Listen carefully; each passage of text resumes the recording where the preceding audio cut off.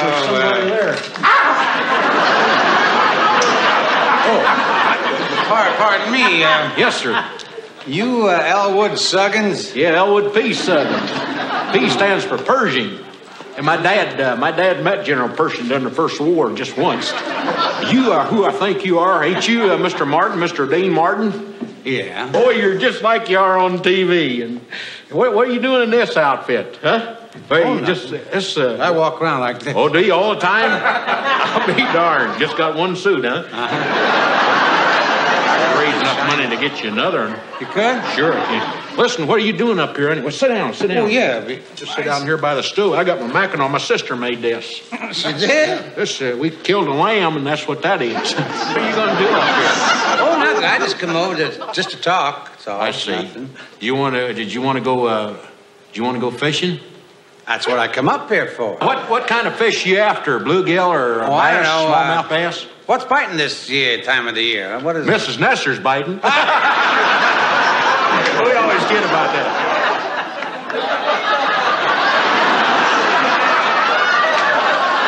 You come up here by yourself?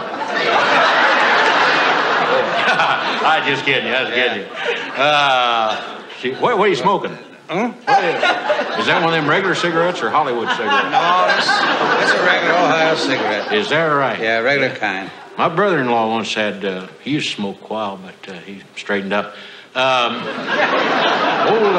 man Nestor uh, is quite a character, you know. I, of course, you don't know him because you've never been up in this in this neck of the woods. But uh, he goes out back. You talk about her, Mrs. Nestor. Now he's a character. He's 74 years old, and uh, he goes out there in his underwear, out there in the back and hunts night crawlers.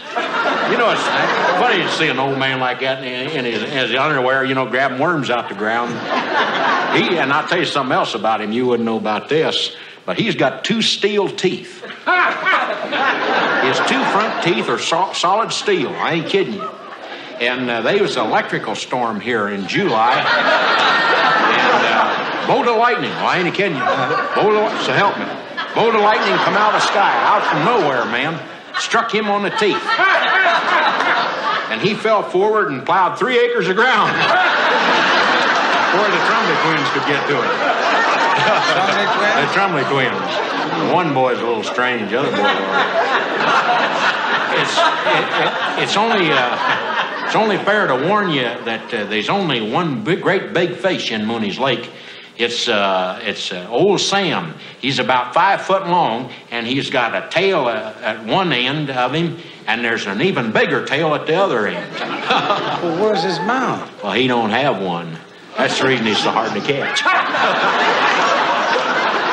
These are little local funnies, Mr. Martin. We always, you know, you don't have a lot to do up here, but just do what I'm doing, whittling wood, play checkers, and run around the, around the building two or three times to keep them going, going crazy. Anyway, if you plan on doing some serious fishing, what you'll need is, here, I'll put this back in there. That almost went into my leg.